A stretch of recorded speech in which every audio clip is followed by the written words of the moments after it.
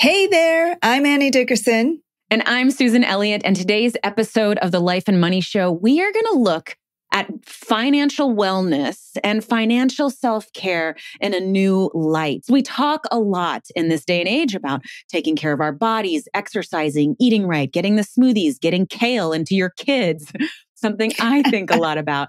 But what we don't talk about is the kind of things that we need to do to maintain a higher level of financial wellness.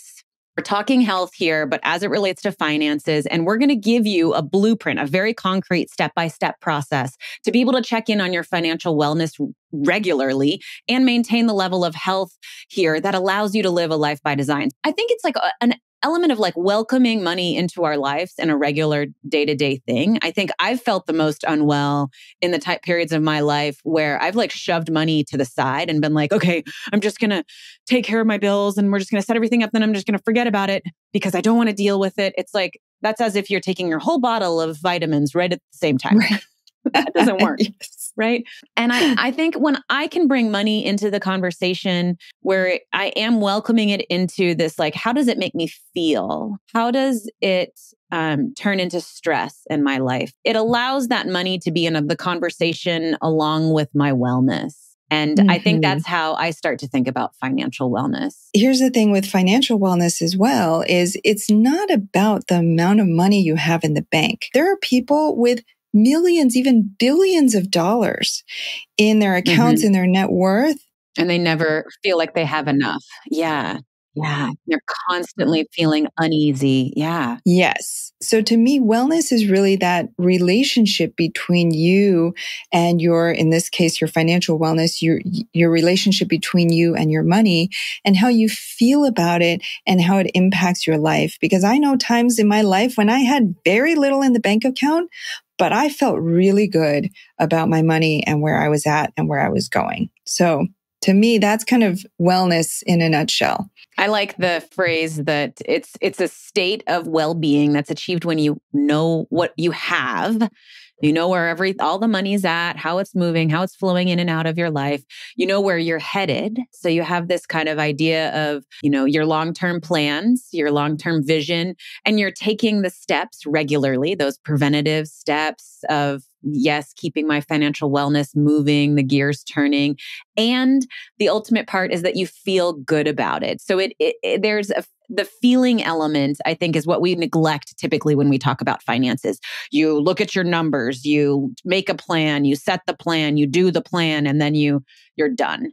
And if you don't integrate those feelings part of it, you could just be going off on someone else's plan, or you could stop taking steps towards your plan because you're ignoring how it makes you feel. Yeah, I think that's so wise is that it's really, I mean, you can make a financial plan, you can check off all the boxes, you can go work with a financial planner, but at the end of the day, you might be going through all those things, but you feel so anxious or you're so unsure or you're just hiding from all the problems. That creates a level of financial distress.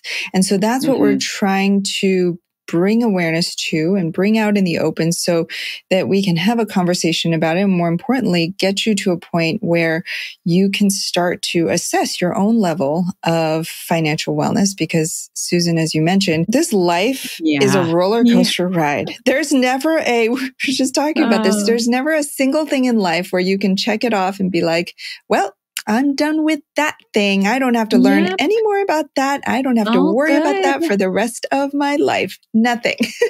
Annie, let's talk a little bit about some flags that are like, what does financial unwellness look like? I think that this will really help the listener. Yeah. So, unwellness, I mean, we hit on one of them, um, which was this incongruence between the amount of money you have in your bank account and how you feel about it. So, for example, having a lot of money or whatever you think a lot of money is in the bank, but feeling really insecure about it. And I, I can tell you, I'm the first one. My husband has felt this way. I have felt this way. And we look at their bank account and we're like, we have more money now than we did back in our 20s for sure. But why are we yeah. feeling this way? Why are we feeling insecure? Yeah. And so that's a big clue that maybe something is a little bit misaligned. And I would say one way to do that is, like you said, compare yourself to your your yourself in your twenties. That's a great big flag. Like, and and that's a great way to just say, like, oh, I'm doing pretty well. I'm actually like taking care of my financials, wellness to some degree. So give yourself a little credit for that typically. And and maybe you're not. Maybe you're in more debt than you were then, and that's okay too. But to be able to also say, like, oh, I have plenty in my emergency savings fund to live off of for the next five or six months. Like that's a huge win in this. And and a way to say like to check yourself with that scarcity because the word scarcity is like well i don't know if i'm feeling scarce or not. Well if you if you can look at a number and say like well actually we'd be fine for 6 months. Can i change this ship around in 6 months? Well probably i can do some pretty big things to move the ship around so we're we're kind of fine. And that's a way to check that scarcity um, mindset in you a little bit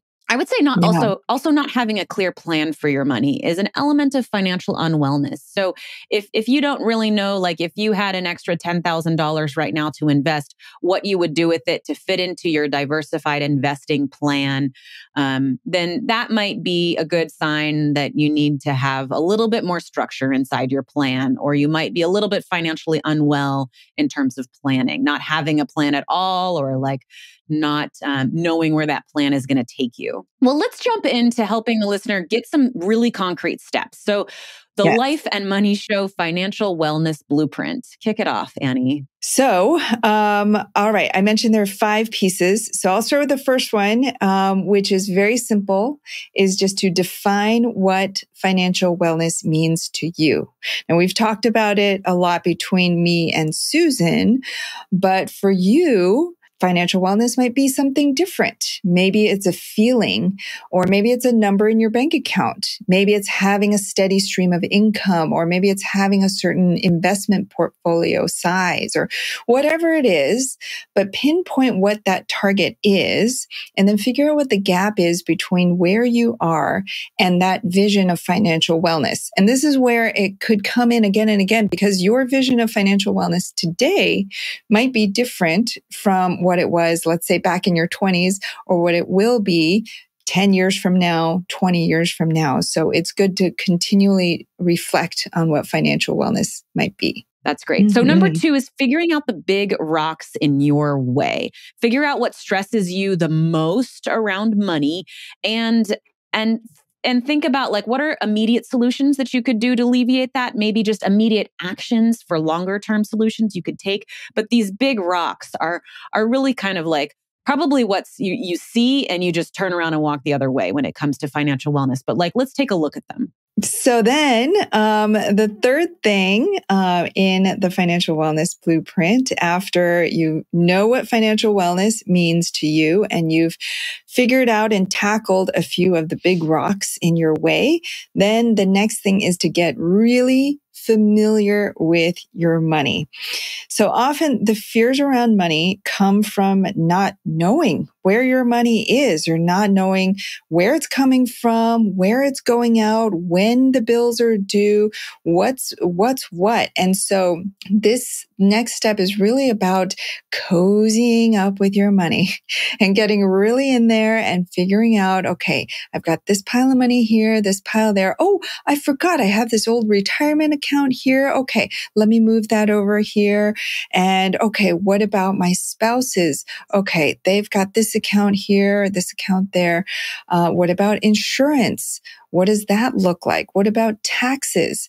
And so, really getting familiar with all the different things that touch your money, not just the amount in your bank account, but all that, having that holistic look at um, your money. I think step number four is to create short term and long term goals. So, as you gain confidence about how your money's coming in, where it's going out, think about some short term goals. Maybe these are month monthly goals, maybe it's within the, the, next year that you can do to help yourself feel a little bit better about your finances, to uplift that financial wellness status. And so go back to what you want to feel about your emotions and what you want to, you know, if maybe it's you don't want to feel guilty around spending every dollar. Well, if you know how much is coming in and how much is going out, maybe you can say, you know what, this is my budget for my self care every month. And I am going to feel great about spending that money because I know I have it coming in and I know we're taking care of ourselves. So you're, you're going back to those feelings and you're actually making the short term plan to uplift them, to feel better about your finances. Also, take long term action because long term um, or, or create long term goals, I should say. And then you're taking the small steps to get towards those goals because financial wellness is this long term journey. Um, we do want to be working towards retirement. We're going to have to take care of ourselves as we age, uh, some way or another. And taking those steps now can really uplift the way you feel now. People think money is the be all and end all, but I was listening to a podcast um, where this this young entrepreneur she started a company at 21 21, sold it by 26, and had hundreds of millions of dollars within a five year period, hundreds of millions of dollars. And so then the host actually asked her, well, you know, does that impact your relationships now? Your new friend, she's single mom. And, you know, does that impact your relationships and your friendships? Because people might, you know, people might just want to come into your life for your money. She said, absolutely. And so it's not like if you have this high dollar amount in your bank account, it solves all your problems. It just brings on new problems. And each of us in this life are here for different learnings and we're on a different path. So we're not here to compare. We're here to help all of us to elevate and to reach that financial, uh, that level of financial wellness where you can feel really good. So that's our hope for you. And we're so grateful that you joined us for this conversation. Su- Susan, any last words before we wrap?